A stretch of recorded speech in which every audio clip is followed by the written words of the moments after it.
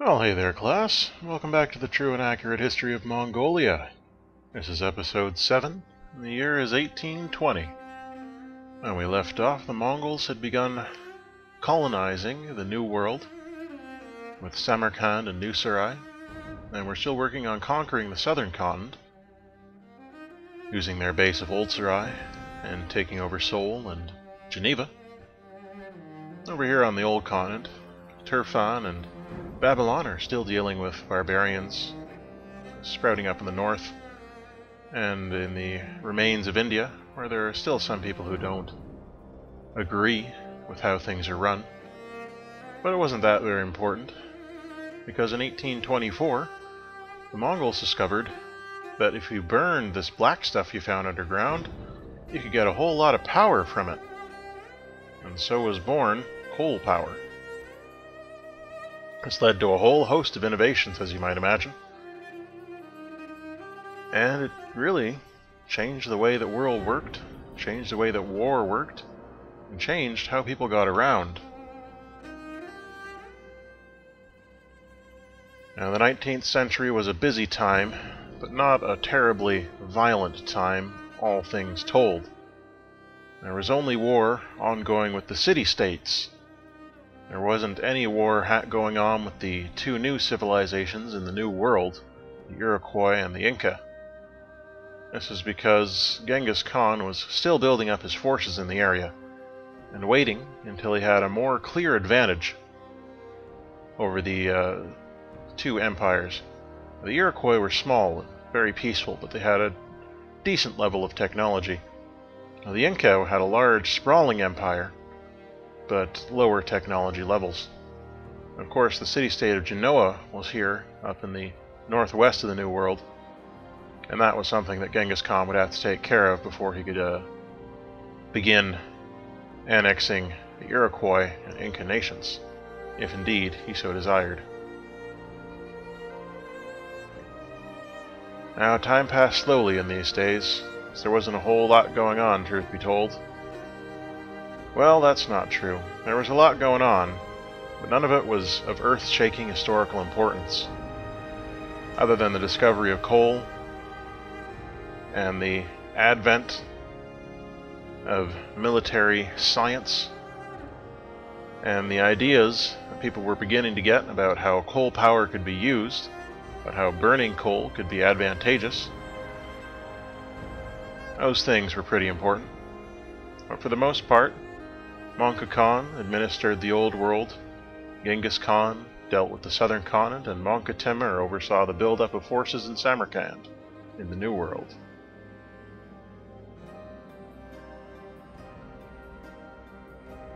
Now, it's interesting to note that in our timeline, we're seeing some fascinating developments in the way the world is shaped. In Japan, they've suffered through a massive crisis that's still ongoing. The earthquake, and the tsunamis. Now they've got three nuclear reactors all out of control.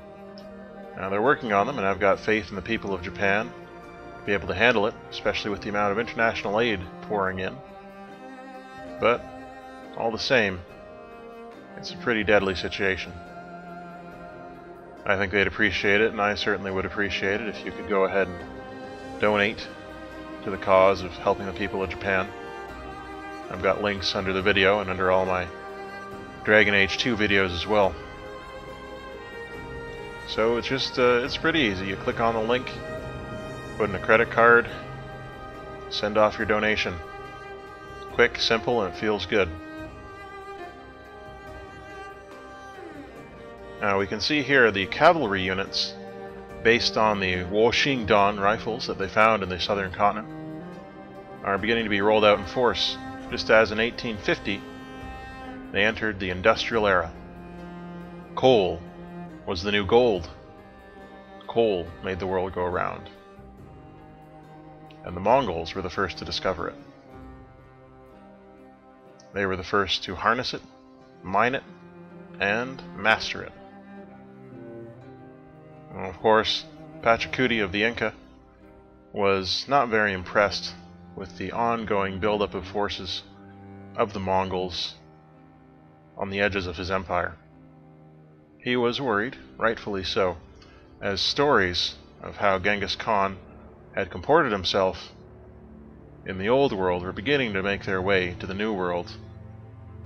There were fugitives and refugees from the remains of India and even the Ottoman Empire still trickling their way over to the Iroquois nation, to the Inca nation, trying to make a new life for themselves outside of the brutal militaristic regime of Mongolia.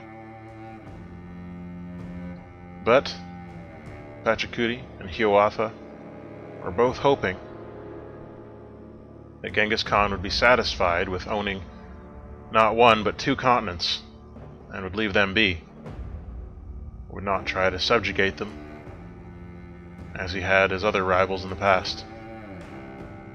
This may be wishful thinking, or it may be what goes down in history. That's something we're going to have to watch and see.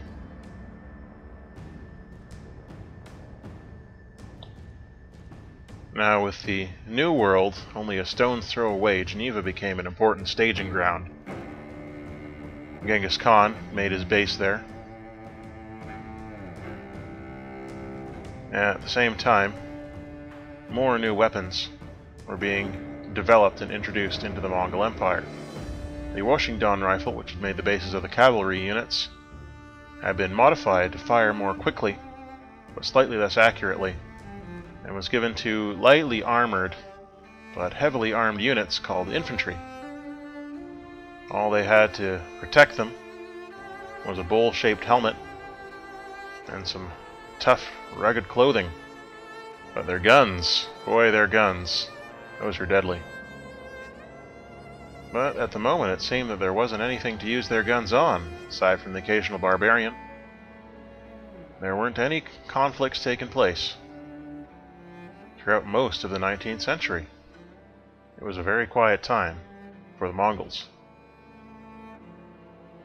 But as we can see, Mongke Temur is beginning to organize the troops and get them going along the borders of the Iroquois nation.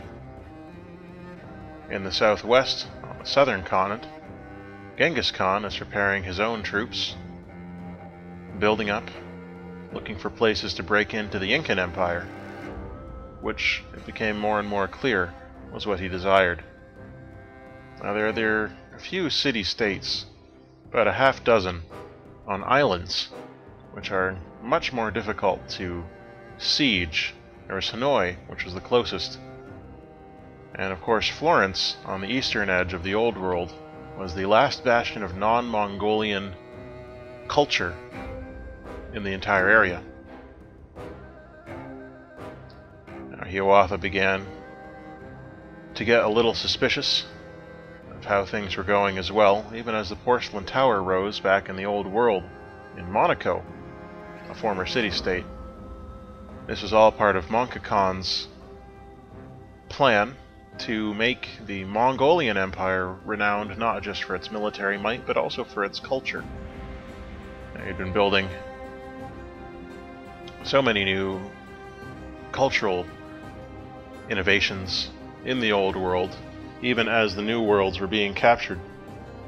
And he hoped the new culture and art and music of the Mongolian Empire would spread to the new world and show the people there that the Mongols were more than bloodthirsty warlords and that the stories of those daily tournaments brutal infighting and violent retribution were just that, stories. Unfortunately, as we know, that was the reality of life in the Mongol Empire. If you were not strong, you were not considered a person. Or at least you were not considered to have the same rights as someone stronger than you. Entire society was organized that way. The strong survived and thrived. And this is something that Khan was obviously trying to change. With the power that he was given in the old world. Now, Genghis Khan heard rumors of what was going on. He got news reports from Mongke Khan, but Mongke Khan often hid the extent to which he was increasing culture. And in fact, in many of the cities of the old world, he had done away with the idea of daily tournaments altogether. and was encouraging the idea that merit could be found in other ways, not just in force of arms. This is something Genghis Khan obviously would not approve of. We're seeing here, in 1886, Möngke Temur, Möngke Khan's son, is beginning his conquest of Genoa, the city-state in the northwest of the New World. With New Sarai close on its borders, it seemed only logical to make Genoa a Mongol satellite state, giving a boost to Mongol presence here in the New World, starting to take over the north entirely. Now, it was going to take some time to get into the new city, especially now that the Keshik were gone. Their ranged powers and prowess had been extremely useful in conquering the city-states in the past, and conquering cities in the past, but with that range advantage negated by the necessarily more limited range of the rifles, it was a question of using naval support in an attempt to break down the walls before the infantrymen could get in there and get into the streets and subdue the rebels. Well, not the rebels, are they? They're insurgents at this point. Perhaps even freedom fighters. It was at this time that the war with Brussels began in 1890 under Genghis Khan's direct control.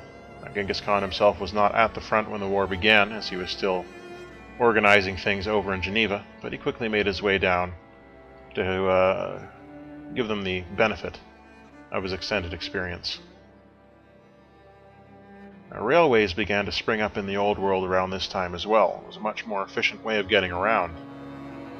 There you go, the fall of Genoa. Right there in 1890. It was a swift conquest, worthy of Möngke Timur's father's name, worthy of being a Khan. And, once more, the Mongols had a strong presence, an undeniable presence, in the New World, one that was growing day by day. That left Florence and Brussels as the primary concerns of the day.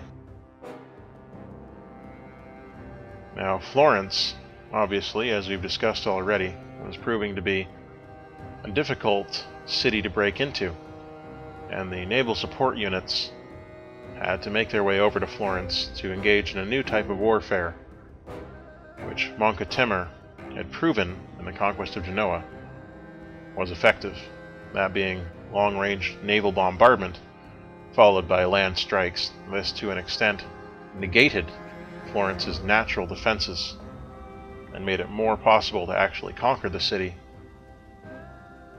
which had not been possible before. And here we see Genghis Khan here down in Brussels overseeing the attack, helping keep the cavalrymen ready, prepared, making sure the cannons are properly aimed. The cavalry are not really built for sieging cities, but they made an efficient harrying force. They did their job just fine, giving time for the infantry to get into place and ready to break down the walls. Now here we see the steamship, one of two the Mongols ever constructed, prowling the shallows near Florence, and aiming to get rid of their outlying defenders, or any naval forces they may have. Now these steamships seemed like a wonderful idea when they first became plausible a few years back. Unfortunately, they were not capable of going out into the deeper sea due to their weight.